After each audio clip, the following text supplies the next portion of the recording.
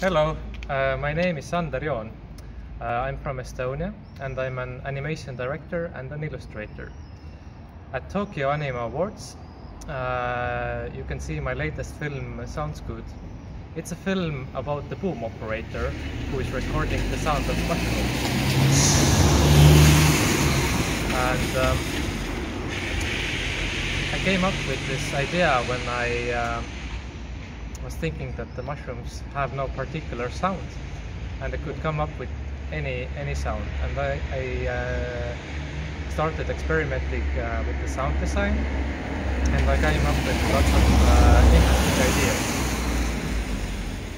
and uh, when I had the interesting sounds for the mushrooms there was a necessity for the main character and that's where the boom operator came in.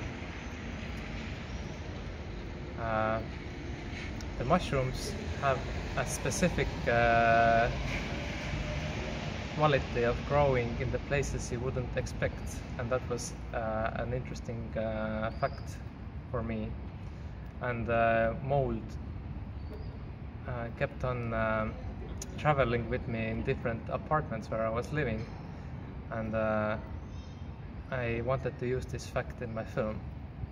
I really hope you enjoy the film and uh, I hope you enjoy the festival.